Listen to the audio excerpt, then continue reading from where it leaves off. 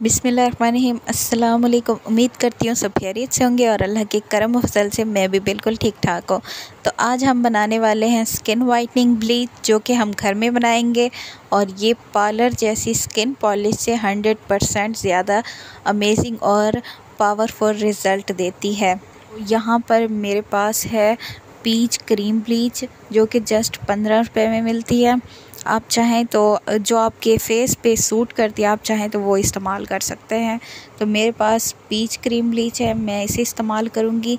चलें तो फिर वीडियो स्टार्ट करते हैं। और अभी हम एक छोटा सा बाउल ले लेंगे, ठीक है?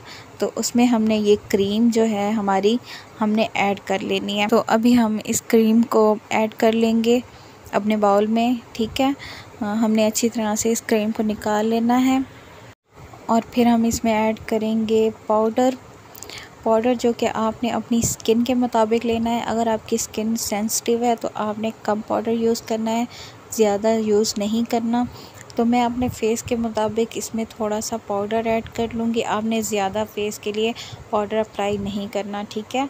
तो इसमें हम पाउडर इस्तेमाल कर लेंगे और उसके बाद है सॉफ्ट टच का वाइटनिंग बूस्टर। वाइटनिंग बूस्टर जो कि हमारी स्किन को वाइटनिंग का इफ़ेक्ट देता है, जो कि हमारी स्किन में वाइटनिंग का इफ़ेक्ट बल्कि डबल कर देता है।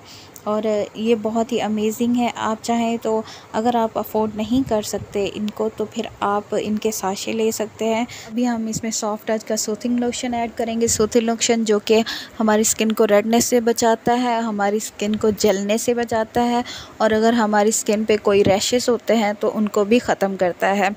ठीक है? तो अभी हम इसमें थोड़ा सा ऐड कर लेंगे। जितनी मकदार हमने बूस्टर का लिया था, उतनी ही हमने सूथिंग लोशन की ले लेनी है और इसके बाद सॉफ्ट टच का स्किन शाइनर है। स्किन शाइनर जो कि आपकी स्किन को बहुत ही ग्लो और शाइन देता है। तो आपने इसमें अप्लाई कर लेना है थोड़ा सा स्किन शाइनर ये हमारी बेहतरीन एक स्किन वाइटनिंग ब्लीच बन रही है।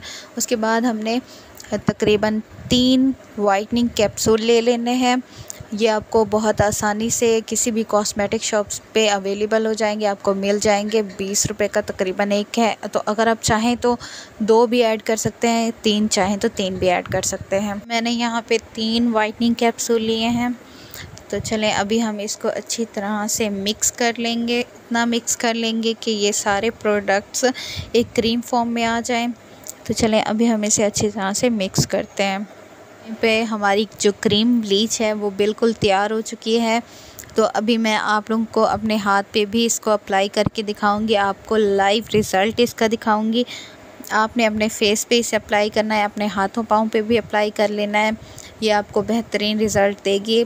तो चले, मैं अच्छी तरह से अपने हाथ पे इसे अप्लाई कर लूँगी और तकरीबन पाँच से सात मिनट के लिए मैं इसे छोड़ दूँगी। क्योंकि मेरी स्किन सेंसिटिव है तो मैं ज़्यादा देर इसे अप्लाई नहीं कर सकती। चलें, फिर मैं इसे अच्छी तरह से अपने हाथों पे अप्लाई कर लूँगी और फिर इसे तकरीबन पाँच से सात मिनट के लिए हम छोड़ देंगे। तकरीबन यहाँ पर पाँच से सात मिनट से ज़्यादा हो चुके हैं। मैं इसे रिमूव करके आपको दिखाती हूँ। आप लोग के सामने लाइव रिज़ल्ट शेयर करूँगी।